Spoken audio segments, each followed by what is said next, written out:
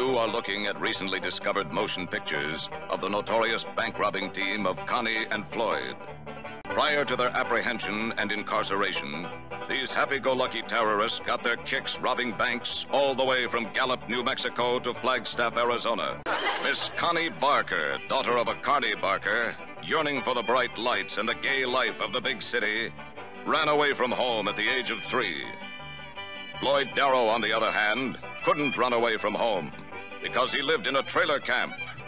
And no matter how far he went, home was always catching up to him. Connie and Floyd cut a swath of crime through seven states, robbing banks and eluding capture by the police.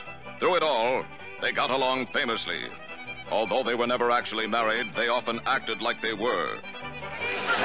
Connie and Floyd were inseparable. They had a fantastic relationship and were considered by their contemporaries to be two of the swellest crooks in the Southwest. They were always on the run, stopping only now and then to have their picture taken and fix a bumper. Connie and Floyd meet sneaky Sam Vittorio. Had they not followed a life of crime, Connie and Floyd would have undoubtedly ended up in the used car business.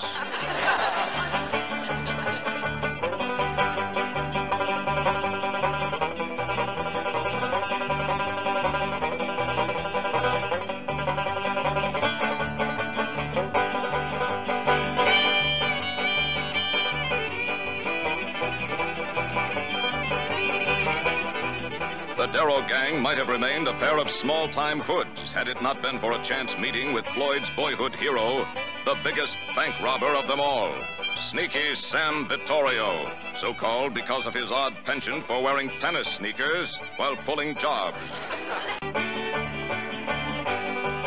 It's little wonder that Connie and Floyd were so smitten with Vittorio, for this affable crook was responsible for closing more banks than the Depression.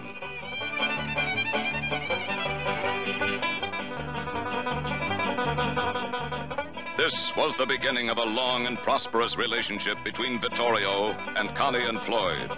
They remained inseparable, piling up one of the most impressive records in the annals of modern crime.